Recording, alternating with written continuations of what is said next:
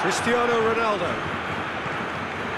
Could be a chance here. And it's Chris- Cristiano Ronaldo!